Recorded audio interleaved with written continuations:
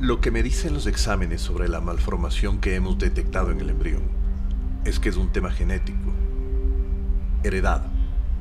Pero eso no hay en ninguna de nuestras familias. En ninguna de las dos.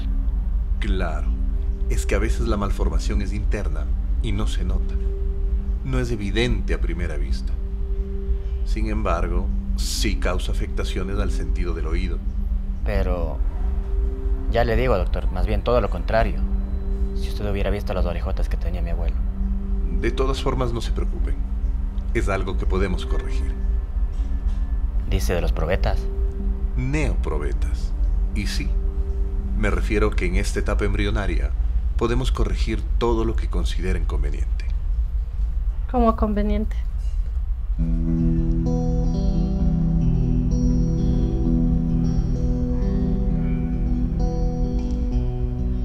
Yo soy tu mamá, mi amor. Ya sé que no nos parecemos, pero saliste de mí